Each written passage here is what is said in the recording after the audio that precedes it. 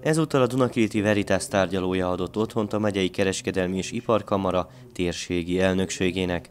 Szókoli Sándor polgármester előadásában elmondta, az állam a konszolidáció során 47 millió forint adósságot vállalt át.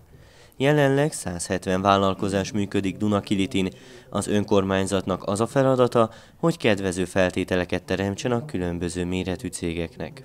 Jól érezzék magukat a vállalkozók, vállalkozások a településen, illetve ha van rá lehetősége, akkor olyan kedvező körülményeket biztosítson, ami ki tudnak használni a vállalkozók. A térségi kamarai elnökség azért tartja üléseit más-más településen, hogy jobban megismerjék a helyi gazdaságot.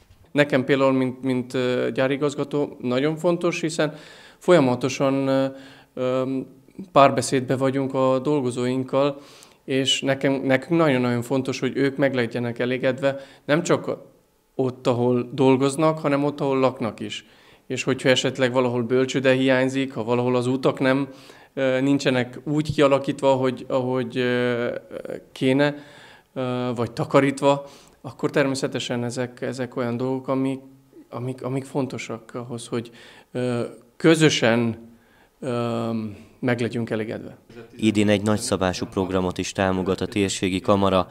Azon vállalkozásoknak biztosítanak találkozási lehetőséget, amelyek beszállítói lehetnének a környéken működő autóipari cégeknek. A konferenciának a lényege az, hogy ismerjük meg a helyi nagyobb autóipari beszállítókat, és ez lesz, ez lesz az első napnak a témája. A második napnak a témája az lesz, hogy megadjuk a lehetőségeket ilyen kis vállalkozóknak is, hogy egy ilyen face-to-face, szóval szemtől szembe 15 percet olyan cégekkel beszélhessenek, akiknek szeretnének beszállítani, beszállítani.